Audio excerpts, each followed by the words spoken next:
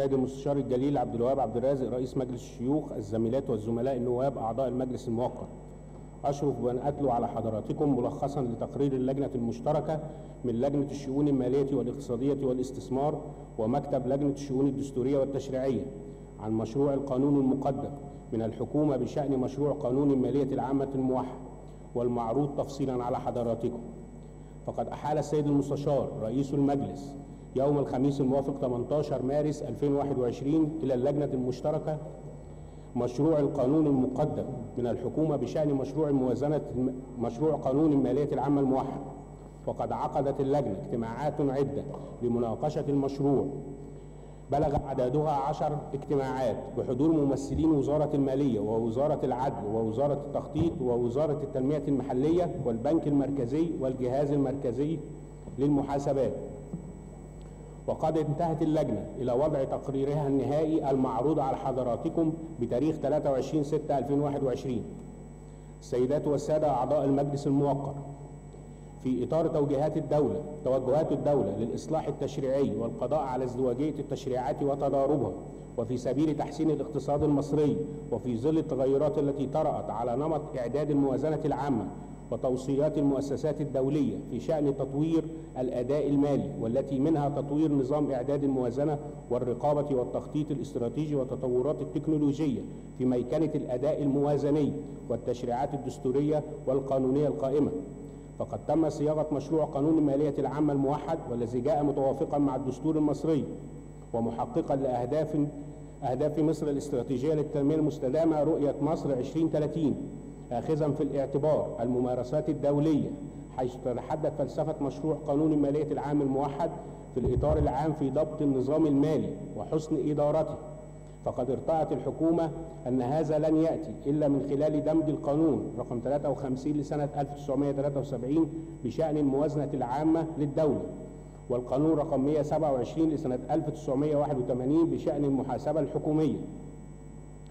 ففي ظل التطورات المتلاحقة أصبح هناك العديد من الممارسات الفعلية التي لم ترد في القوانين السابقة مثل الأطر الموازنية والتخطيط المالي وموازنة البرامج والأداء علاوة على وجود عدد من المواد في القوانين بذات المضمون وتؤدي نفس المعنى بما يعكس عدم الترابط بين نصوصهما والذي ظهر جاليا بتطبيق الموازنة الإلكترونية التي تربط الإعداد بالتنفيذ مما يعكس الحاجة الملحة لصياغة قانون جديد موحد للمالية العامة.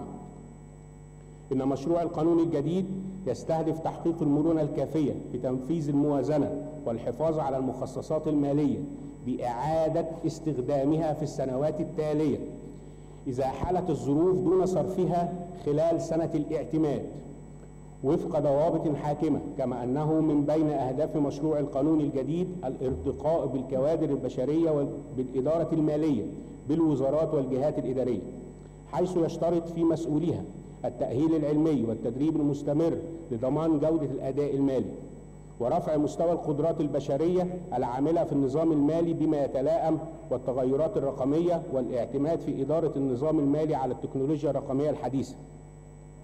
أيضا يساهم القانون في تحقيق أعلى مستويات الشفافية والإفصاح في الإعداد والتنفيذ والرقابة والاستجابة للتغيرات المتعلقة بالصرف والتحصيل المميكن واستخدام نظام التوقيع الإلكتروني.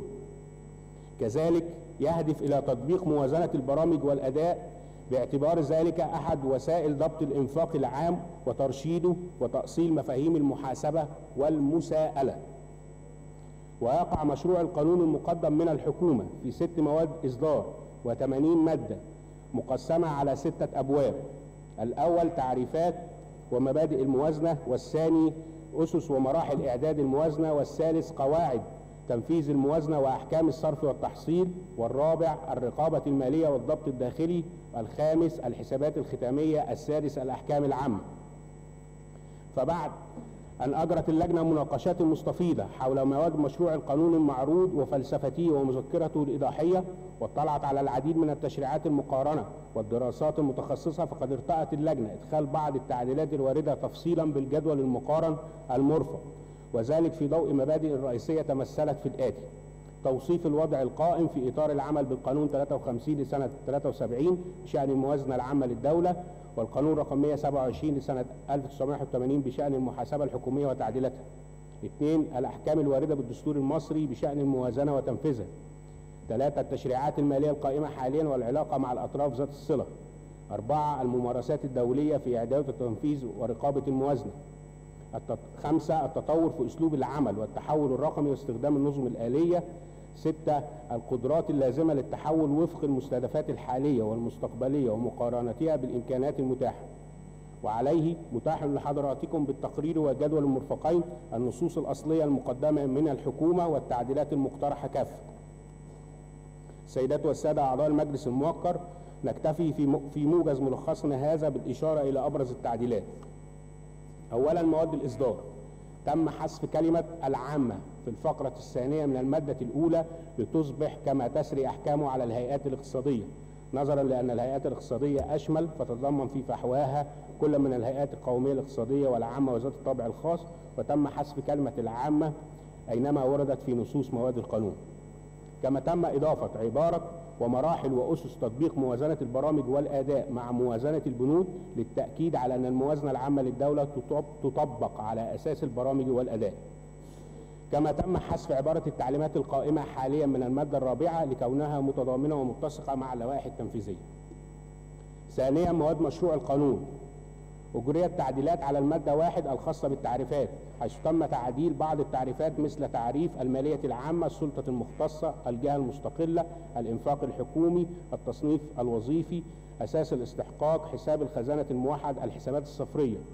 وذلك لضبط الصياغة الفنية والقانونية حيث يتفق التعديل المقترح مع التعريفات المستقرة عليها في العلوم المالية في علوم في علوم المالية العامة والمحاسبة الحكومية.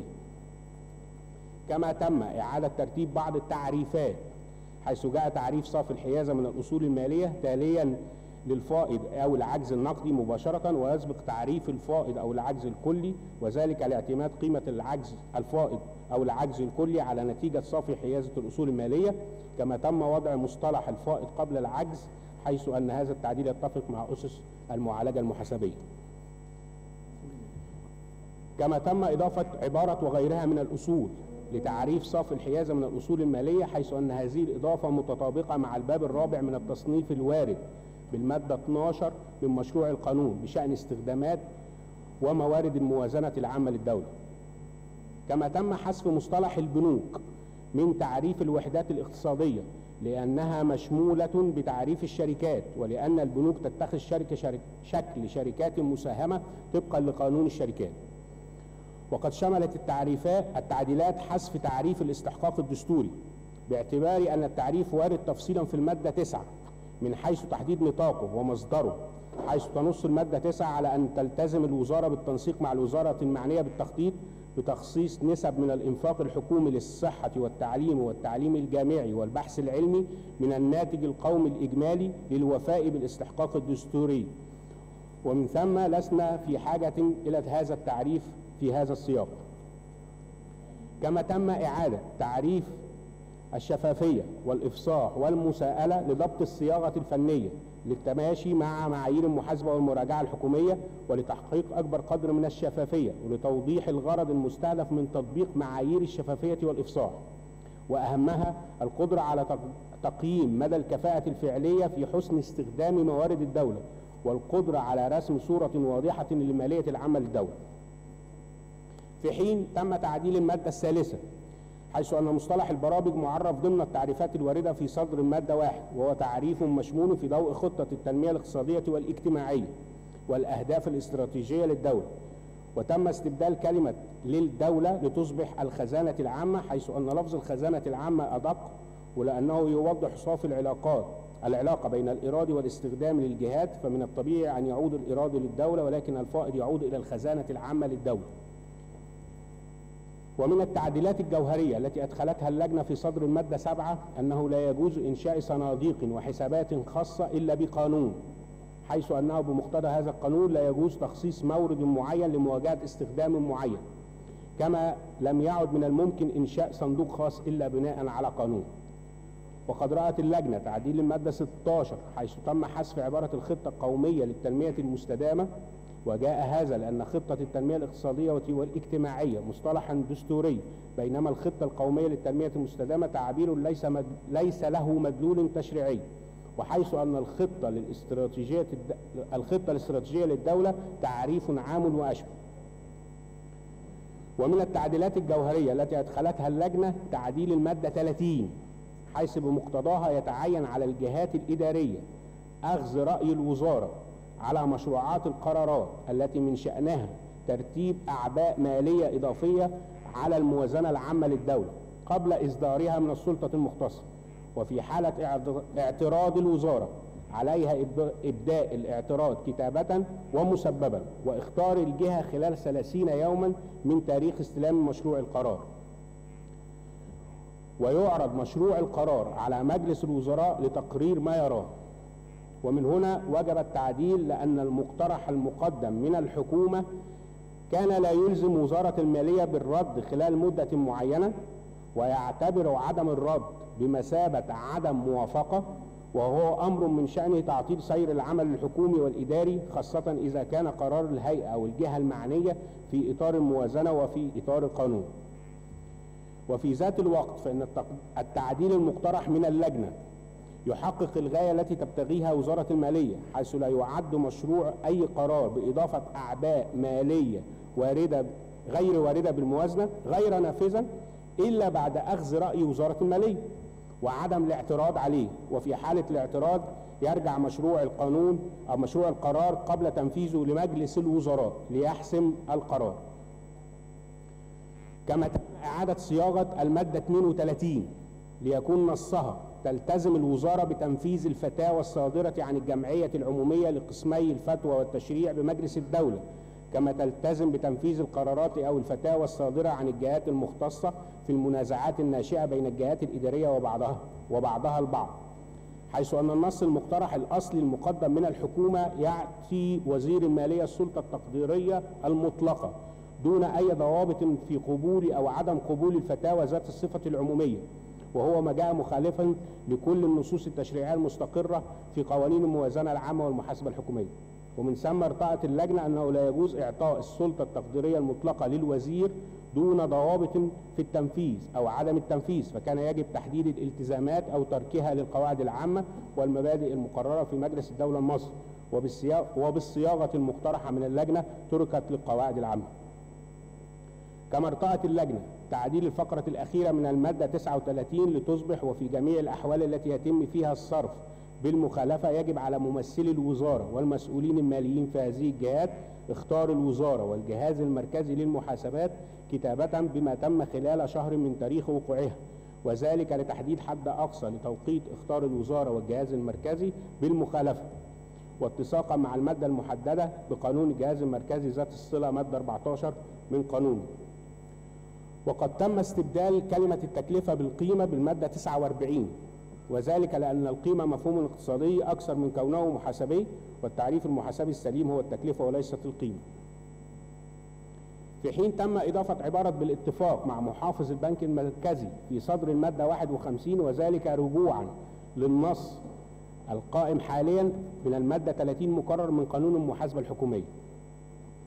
كما تم تحديد توقيت الإبلاغ بمادة 62 للجهاز المركزي للمحاسبات والوزارة والجهات الرقابية والمالية طبقا لنص المادة 15 من قانون الجهاز مع حذف عبارة الذي يترتب عليها ضرر مالي وجاء الحذف حيث أن المخالفات المالية تعد من جرائم الخطر وليست من جرائم الضرر وقد, وقد تتحقق الوقائع أو التصرفات المخالفة حتى ولم يترتب عليها ضرر.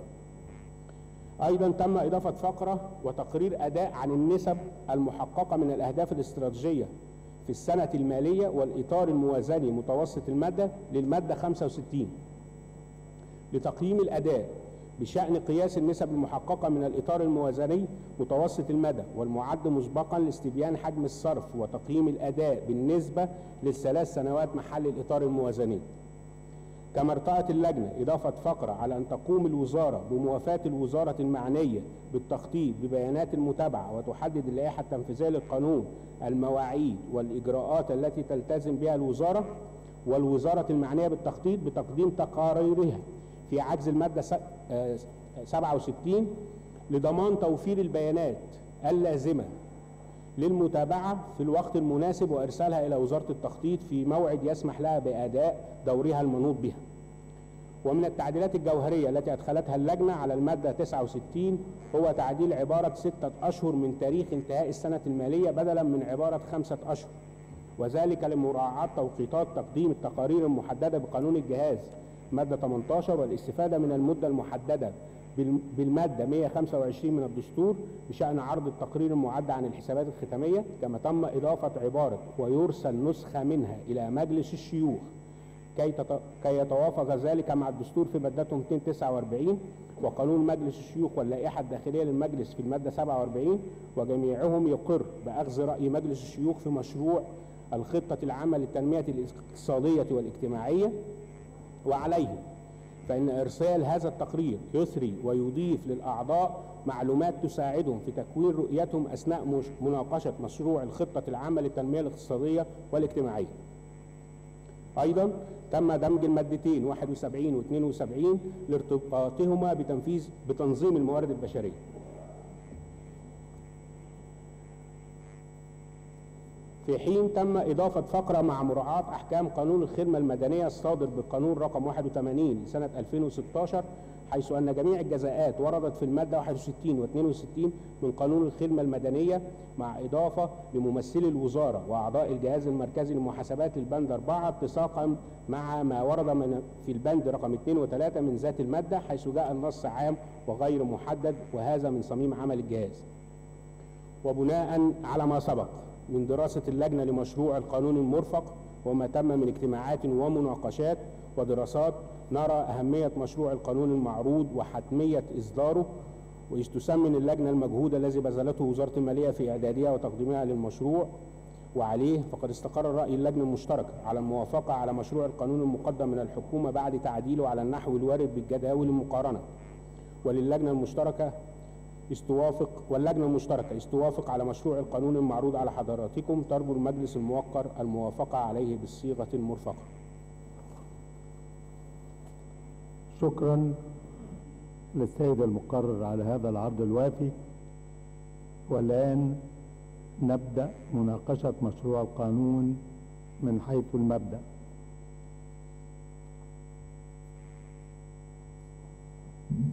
وليتفضل السيد الوكيل بهاء أبو شقة بالحديث